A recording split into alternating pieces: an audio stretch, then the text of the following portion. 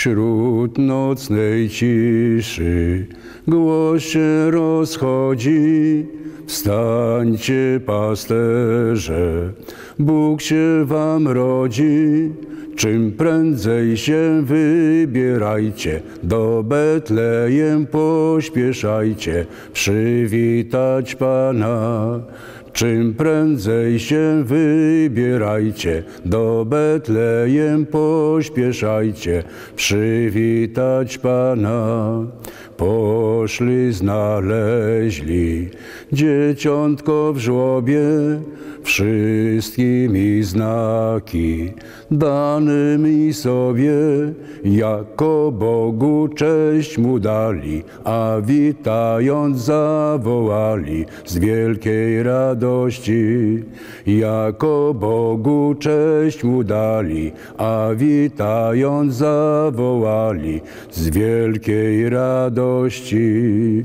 Drodzy Państwo, drodzy telewidzowie, wprawdzie jeszcze nie święta, ale już niektórzy mówią, że są święta, bo jest niedziela, a więc czas świąteczny, czas wolny, jest Wigilia i oczywiście jest jeszcze, proszę Państwa, wciąż Adwent, chociaż ta kolenda, którą zaśpiewałem, jest właśnie tą pieśnią, tą radosną pieśnią, e, którą dzisiaj będziemy śpiewali przy stole wigilijnym, wtedy, gdy będziemy łamali się opłatkiem, wtedy, gdy będziemy spożywali kolację wigilijną, czy, czy jakiś tam jeszcze inny posiłek, bo przecież nie tylko kolacja, ale przede wszystkim kolacja wigilijna, wtedy, gdy pojawi się właśnie ta gwiazdka na niebie, ile to niebo będzie odsłonięte, czyli nie będzie chmur. No w każdym razie tradycja, święta rzecz i zechciejmy właśnie tę tradycję, proszę Państwa, uszanować i w jakiś sposób ją ożywić, bo jak wiemy, tradycja coraz bardziej umiera, coraz mniej jesteśmy tradycyjni, a coraz bardziej jesteśmy postępowi. Oczywiście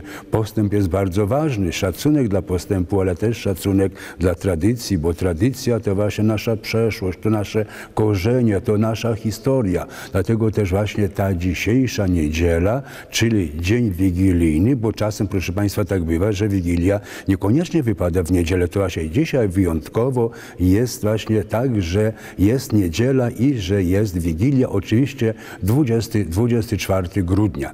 E, no właśnie, jeżeli 24 grudnia, to imieniny Ewy i Adama wszystkim solenizantkom, wszystkim solenizantom, paniom Ewom i panom Adamom przekazuję najlepsze życzenia. Pozdrawiam bardzo serdecznie, imieninowo, wigilijnie i już prawie przedświątecznie, chociaż jeszcze adwentowo. Tak, pamiętajmy o tym, że wciąż jesteśmy w Adwencie. Adwent zakończymy wtedy, gdy pójdziemy do kościoła w nocy na mszę świętopasterską, wtedy, gdy wybije godzina 24 i wtedy właśnie, gdy zaczniemy śpiewać wśród nocnej ciszy, czy, czy dzisiaj w Betlejem, czy jakoś tam jeszcze inną pieśń, tak zwaną, tak zwaną kolendę, e, która na pewno rozraduje nasze serca i która spowoduje, że właśnie te święta będą naprawdę świętami nie tylko w sensie wolnym, w sensie wolnym, że będzie czasu trochę więcej, e, że będzie trochę jedzenia więcej, że będzie czegoś tam jeszcze trochę więcej. Owszem, tego wszystkiego będzie więcej, ale proszę Państwa, przede wszystkim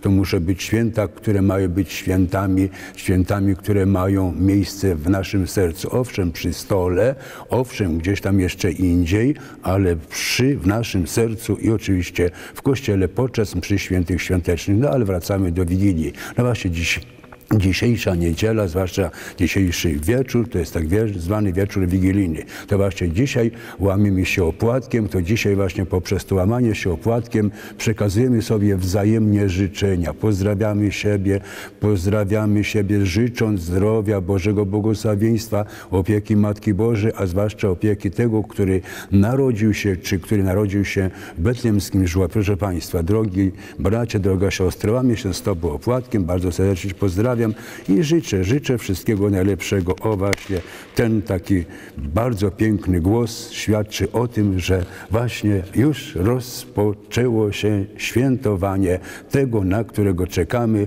i do którego by spotkać w sposób godny przygotowywaliśmy się poprzez okres Adwentu. Czym jest Wigilia? No oczywiście nie muszę Państwu tłumaczyć, no Wigilia, czyli czuwanie, czyli już bycie gotowym na podjęcie tego, na którego czekamy i który którego chcemy powitać. Przede wszystkim o Wigilii mówimy różnie. Mówimy na przykład, że jest to dzień, czy jest to wieczór, kiedy ustają wszelkie smutki i spory, a po środku nas zasiada Chrystus. Mówimy, że jest to właśnie dzień czy wieczór, kiedy nawet zwierzęta próbują przemówić ludzkim językiem. Próbują, czy im się udaje, to inna sprawa. W każdym razie, proszę Państwa, jest to apel do nas. Apel do nas ludzi, byśmy w tym dniu przemówili ludzkim językiem, byśmy wyciągając opłatek do swojej siostry, do swojego brata, do swojego bliźniego, czy do swojej bliźni, bliźniej, byśmy wyciągając ten właśnie opłatek, wyciągali swoje serce, by właśnie w tej naszej dłoni, oprócz tego opłatka,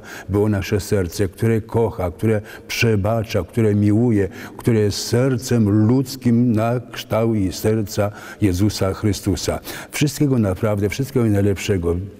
Przebaczmy sobie wzajemnie, zobaczmy e, ten rok, który dobiega końca, tak już niewiele dni pozostało do zakończenia roku pańskiego 2023. Na pewno różnie było w tych miesiącach, które, które oczywiście przeżywaliśmy, które przeżywamy wciąż, który obecnie przeżywamy jako ostatni miesiąc roku pańskiego 2023, miesiąc grudzień. Różnie bywało, żeśmy się kłócili, może ktoś kogoś oszukał, może ktoś na kogoś gniewał się, może ktoś kogoś obraził albo został obrażony albo został oszukany.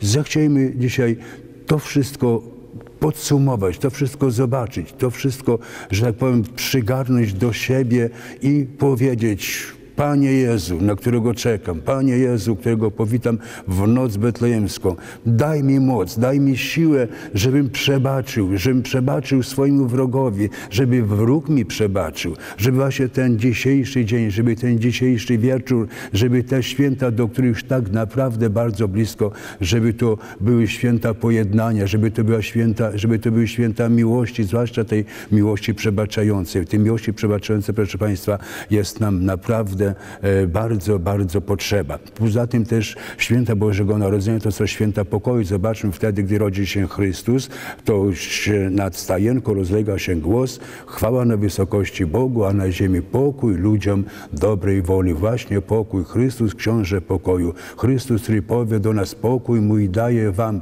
pokój mój daje wam. Nie taki pokój, jaki daje świat. On wyciągając rączkę w żłóbku betlejemskim, On będzie mówił do nas, On mówi do nas, że daje nam pokój, że ten pokój nam proponuje. Zechciejmy wziąć ten pokój, zechciejmy przejąć się tym pokojem jako to wartością bardzo podstawową, bardzo ludzką, bez której nie wyobrażamy sobie naszego normalnego życia na ziemi. Zobaczmy, tego pokoju bardzo brakuje, tak? Czy Ukraina, czy, czy Bliski Wschód, e, czy, czy, czy Święta Ziemia, Jerozolima. E, to właśnie tam tych tyle e, różnego rodzaju rzeczy złych się dzieje. Tam nie ma pokoju, tam giną ludzie, tam cierpią ludzie niewinni, cierpią dzieci, cierpią osoby starsze. Po prostu są niszczeni, są niszczeni ludzie. Dlatego, dlatego, dlaczego? Dlatego, że nie ma pokoju, dlatego, że niech te święta będą okazją do tego, żebyśmy wołali do Boga, żebyśmy wołali do Chrystusa, żebyśmy wołali do Niego, żeby On obdarzył nam łaską, nas łaską pokoju, żeby przekonał tych wszystkich, którzy decydują o tym, czy można ten pokój mieć na świecie, czy nie. Módlmy się, módlmy się, kochani, do naszego Zbawiciela, na którego czekamy, żeby On obdarzył właśnie tą łaską, tą łaską pokoju. Kochani, na zakończenie bardzo proszę o wysłuchanie Ewangelii, która jest przeznaczona na dzisiejszą niedzielę, czwartą niedzielę Adwentu. Oto ona. Bóg posłał anioła Gabriela do miasta w Galilei zwanego Nazaret, do dziewicy poślubionej mężowi imieniem Józef z rodu Dawida, a dziewicy był na imię Maria. Wszedł do niej anioł i rzekł, bądź pozdrowiony zbawiona, pełna łaski, Pan z Tobą, błogosławiony jesteś między niewiastami. Ona zmieszałeś na te słowa, rozważała, co miałoby znaczyć to pozdrowienie. Lecz anioł rzekł do nie bój się Mario, znalazłaś bowiem łaskę u Boga, oto poczniesz porodzisz syna, któremu nadasz imię Jezus. Będzie on wielki, zostanie nazwany Synem Najwyższego, a Bóg da mu tron jego praojca Dawida. Będzie panował nad domem Jakuba na wieki, a jego panowanie nie będzie końca. Na to rzekła Maria do anioła, jakże się to stanie, skoro nie znam męża? Anioł odpowiedział, Duch Święty stąpi na ciebie i moc Najwyższego ochroni Ciebie cieniem, dlatego też święty, które narodzi się, będzie nazwany Synem Bożym, a twoja, również Twoja krewna Elżbieta poczęła swojej starości syna i jest już w szóstym miesiącu ta, która, który, którą miano za niepłodną. Dla Boga bowiem nie ma nic niemożliwego. Na to rzekła Maria, oto jest łożenica Pańska, niech mi się stanie według Twego słowa. Wtedy odszedł od niej anioł. Kochani, Ewangeliusz na wskroś świąteczna, widzimy Maryję, e, widzimy właśnie anioła, e, anioł, który ją pozdrawia, anioł, który ją informuje. Widzimy Marię, którą zobaczymy już tak w sposób, że tak powiem, liturgiczny w noc beztalejemsko podczas mszy świętej pasterskiej, czy po prostu podczas świąt, świąt, do których czekamy, na które czekamy i które już tuż, tuż, tuż. Dziękuję bardzo, pozdrawiam serdecznie i wszystkiego najlepszego na dzisiejszy jeszcze raz podkreślam wieczerzę wigilijną i na święta Bożego Narodzenia, aby to był czas łaski, czas pokoju, czas pojednania, czas modlitwy i czas przybliżania się do siebie wzajemnie. Pozdrawiam jeszcze raz przedświątecznie, wigilijnie, ale także już na wskroś świątecznie. Zostańcie z Bogiem.